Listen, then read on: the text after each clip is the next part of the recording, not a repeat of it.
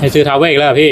เออราคามันลงเขายังเล่นกันอยู่อีกเหรอ เล่นเด็ถ้าแท้ก็ต้องซื้อ ทิ้งได้ไงทาวเวสนี่จะปีรุ่นแรกนะแต่อันเนี้ยพิเศษ นี่ผลงานวันนี้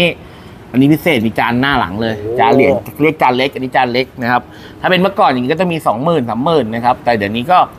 เนี่ยหมื่นบวกลบมาได้เลยอย่างเงี้ยนะครับ แล้วก็วันนี้จะได้ซื้อจอบอีกอันนึงนะครับ เป็นจอบทองเหลือง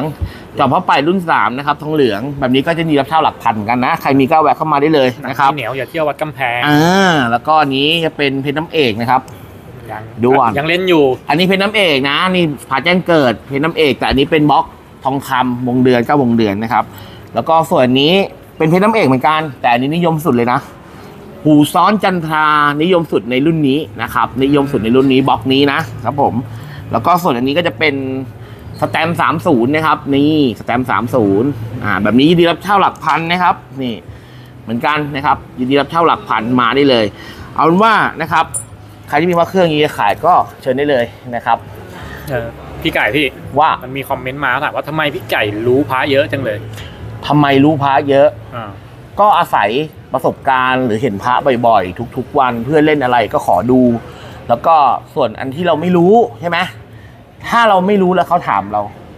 เราก็มีทีมงานนะครับ เพื่อนเพื่อนหลาย ๆ คนที่เล่นอยู่สายตรง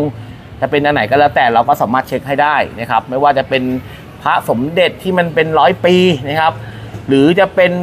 พระลึกๆหน่อยนะครับ หรือพระเกจิอาจารย์ยอดนิยมที่บางบางองค์ที่เราไม่รู้ เราก็มีทีมงานเช็คให้นะครับ เอาเป็นว่ามาที่ผมก็จบให้ทุกระบบอยู่แล้วนะครับ